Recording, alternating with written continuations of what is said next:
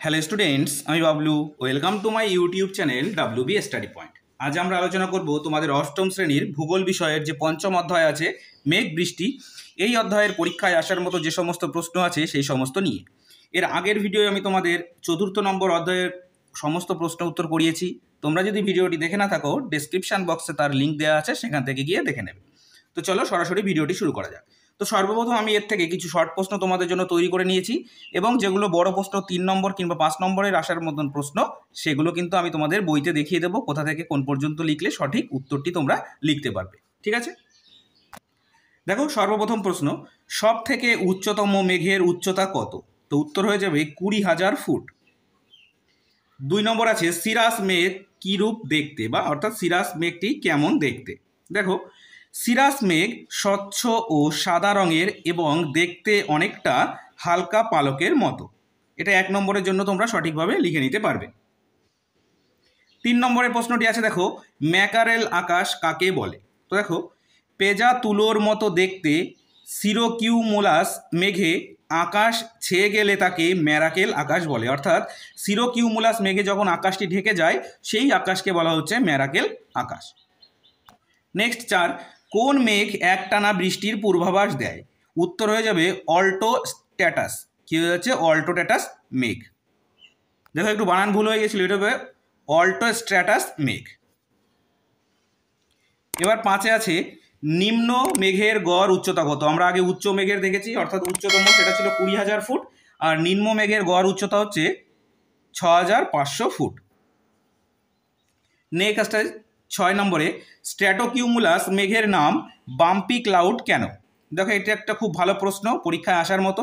দেখো, এই মেঘ দেখতে অনেকটা স্তরে স্তরে স্তূপের মতো সাজানো থাকে। অনেক সময় দেখে মনে হয় স্তরগুলি যেন গড়িয়ে চলছে। তাই এর আরেক নাম বাম্পি ক্লাউড তাহলে বাম্পি ক্লাউড কেন? এই মেঘটা স্তরে স্তরে সাজানো থাকে স্তূপের মতন দেখতে হয় এবং অনেক সময় দেখে মনে হয় যেন স্তরগুলি যেন গড়িয়ে পড়ছে, সেই জন্য একে বলা হচ্ছে বাম্পি ক্লাউড নেক্সট আছে দেখো, কোন মেঘে বজ্রপাত সহ বৃষ্টি হয়? উত্তর হয়ে যাচ্ছে কিউমুলো নিম্বাস বা থান্ডার ক্লাউড। অর্থাৎ এই কিউমুলো নিম্বাস মেঘকে ইংরাজিতে কি বলা হচ্ছে? Thunder cloud. আটের প্রশ্ন আছে দেখো, বায়ুর কোন স্তরে মেঘের সৃষ্টি হয়? উত্তরটি হয়ে যাবে ট্রপোস্পিয়ার স্তরে। প্রশ্ন নম্বর নয়, বাষ্পীভবন কি? দেখো, জলের বাষ্পে পরিণত হওয়ার প্রক্রিয়া হলো বাষ্পীভবন। অর্থাৎ যদি আমরা প্রকৃতিগতভাবে দেখি, সূর্যের তাপ যখন জলের উপর পড়ে বা সূর্যের আলো যখন জলের উপর পড়ে, তখন তার থেকে কিছুটা পরিমাণ বাষ্প, অর্থাৎ জল বাষ্প হয়ে উপরে উঠে যায়। অর্থাৎ এই তাপের প্রভাবে জলের চেয়ে বাষ্পে পরিণত হওয়া যে পদ্ধতিটা, এটাকেই বলা হচ্ছে বাষ্পীভবন। নেক্সট দশের দাগ, সম্পৃক্ত বায়ু কাকে বলে? দেখো কোনো নির্দিষ্ট উষ্ণতায় নির্দিষ্ট পরিমাণ বায়ু যতটা পরিমাণ জলীয় বাষ্প ধারণ করতে পারে, সেই পরিমাণ জলীয় বাষ্প থাকলে ওই বায়ুকে সম্পৃক্ত বায়ু বলে। অর্থাৎ কোনো একটা বায়ুর মধ্যে যতটা পরিমাণ জলীয় বাষ্প থাকার কথা, ততটা পরিমাণ যদি জলীয় বাষ্প সেই বায়ুর মধ্যে থেকে থাকে, তখন তাকে বলা হচ্ছে সম্পৃক্ত বায়ু। এবার এগারোর প্রশ্ন দেখো। সাধারণ মেঘের জলকণার ব্যাস কত? উত্তর হয়ে যাচ্ছে শূন্য দশমিক শূন্য দুই মিলিমিটার। এবার দেখো বৃষ্টিপাত কত প্রকার ও কি কি? উত্তর, বৃষ্টিপাত তিন প্রকার, এক পরিচলন বৃষ্টি, দুই শৈলোৎক্ষেপ বৃষ্টি ও তিন ঘূর্ণবাদজনিত বৃষ্টি। তো আমি শুধু পরিচলন শৈলোৎক্ষেপ এবং ঘূর্ণবাদ লিখেছি। এবার দেখো অনুবাদ ও প্রতিবাদ ঢাল কি? প্রথমটা দেখব আমরা, অনুবাদ ঢাল কাকে বলে? যে ঢাল বরাবর বায়ু নিচে নামে তাকে অনুবাদ ঢাল বলে। অর্থাৎ এটা যদি আমাদের পাহাড় পর্বত হয়ে থাকে তাহলে যে এই যে ঢাল বরাবর, যে ঢাল বরাবর বায়ু নামছে নিচের দিকে, সেটা হচ্ছে অনুবাদ ঢাল বা এদিক থেকেও নামতে পারে, সেটা হচ্ছে অনুবাদ ঢাল।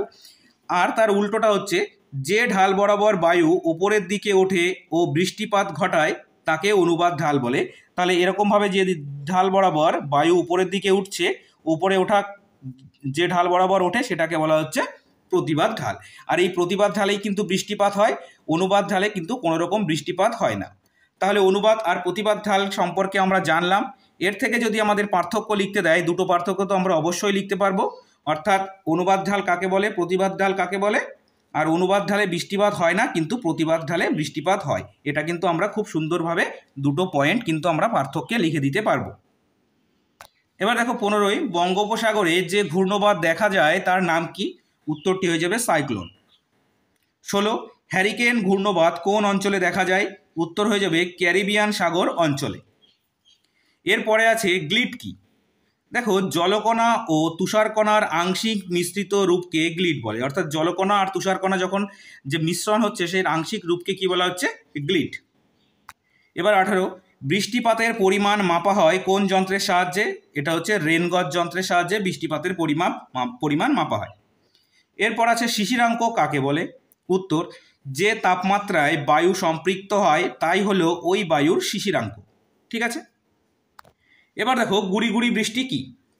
শূন্য দশমিক পাঁচ মিলিমিটার এর কম ব্যাসযুক্ত, খুব ছোট ছোট জলকণা ভূপৃষ্ঠে ঝরে পড়লে তাকে গুড়ি গুড়ি বৃষ্টি বলে। অর্থাৎ যখন বৃষ্টিপাতের ব্যাস বা বৃষ্টির ব্যাস যখন শূন্য দশমিক শূন্য পাঁচ শূন্য দশমিক পাঁচের কম হয় বা মিলিমিটারের কম হয়, তখন তাকে কি বলা হচ্ছে? গুড়ি গুড়ি বৃষ্টি। তো এই গেল আমাদের কিছু শর্ট প্রশ্ন। এবার বইতে থেকে আমি তোমাদের দেখিয়ে দিচ্ছি তোমরা কীভাবে বড় প্রশ্নগুলো দেওয়া থাকলে সেখান থেকে লিখতে পারবে। দেখো একটা প্রশ্ন প্রায়শই পরীক্ষায় আসে, মেঘের সৃষ্টি হয় কীভাবে? তো দেখো, সূর্যের তাপে সমুদ্র, নদী, পুকুরের জল উত্তপ্ত হয়ে বাষ্পে পরিণত হয়ে বায়ুতে মেশে। এছাড়াও গাছপালার প্রচ্ছেদন প্রক্রিয়ার মাধ্যমে জলীয় বাষ্প বাতাসে যুক্ত হয়। তো এর মধ্য থেকে তখন কি হচ্ছে? সেই জলীয় বাষ্প কি হচ্ছে? আমাদের আকাশে উঠে যাচ্ছে বা উপরে উঠে যায়, সেখানে গিয়ে যে সমস্ত ধূলিকণা আছে, সেই সমস্ত ধূলিকণার সঙ্গে মিশ্রিত হয়ে কিন্তু মেঘের সৃষ্টি হয়। দেখো এখানে আছে। বায়ুমণ্ডলের ট্রপোস্পিয়ারেরই মেঘের সৃষ্টি হয়, আমি একটা শর্ট প্রশ্ন লিখেছিলাম। আর এখান থেকে তোমরা একটু ভালো করে দেখে নেবে, তাহলে কিন্তু তোমরা বুঝতে পারবে যে মেঘের সৃষ্টি কীভাবে হচ্ছে। তো যদি ভালো করে দেখো, তাহলে দুই নম্বরের জন্যও লিখতে পারবে কিংবা তিন নম্বরের জন্য যেমনই প্রশ্ন দিক না কেন, তোমরা উত্তরটি কিন্তু লিখে আসতে পারবে। এবার দেখো একটা প্রশ্ন আসতে পারে, অদক্ষেপণ কাকে বলে? তো উত্তর এখান থেকে লিখবে, পৃথিবীর অভিকর্ষ টানে বায়ুমণ্ডল থেকে জলকণা বা বরফকণা তরল বা কঠিন অবস্থায় ভূপৃষ্ঠে নেমে এলে তাকে অদক্ষেপণ বলে, পারসেপশন বলা হচ্ছে, ঠিক আছে? তো অদক্ষেপণের মধ্যে বেশিরভাগ ক্ষেত্রে বৃষ্টিপাতকে বোঝানো হয়ে থাকে অদক্ষেপণ, সেই জন্য অদক্ষেপণের উদাহরণ চাইলে একটা বৃষ্টিপাত তোমরা লিখে দিতে পারবে। এবার দেখো টিকা আকারে পরীক্ষার সময় আসতে পারে পরিচলন বৃষ্টিপাত কি এবং এর চিত্রসহ বর্ণনা করো।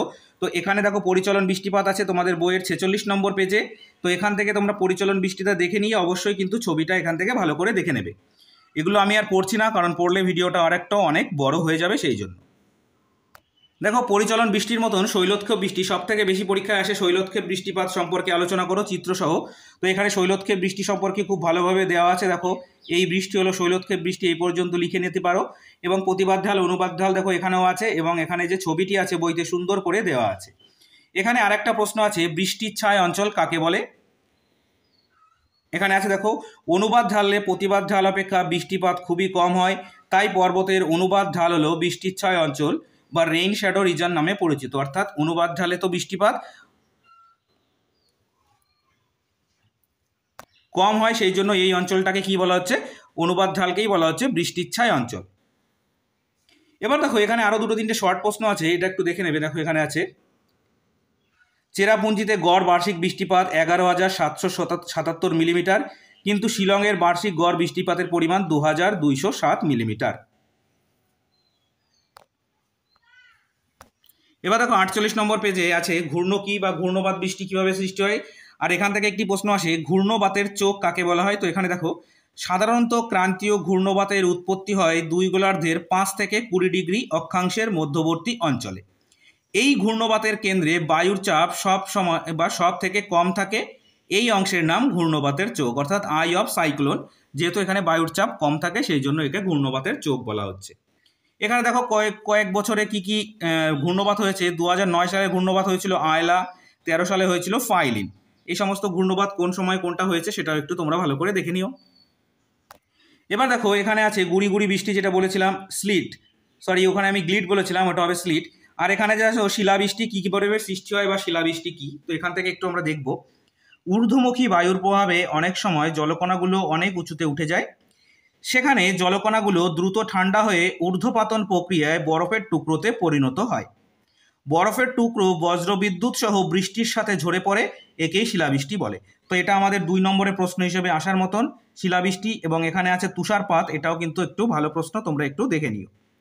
আর একটা একদম শেষে আছে সমবর্ষণ রেখা। আমি রেনগস্তি তোমাদের দেখিয়ে দিয়েছি। আর এখানে আছে সমবর্ষণ রেখা। পৃথিবীর বিভিন্ন জায়গায় বৃষ্টিপাতের পরিমাণ আলাদা।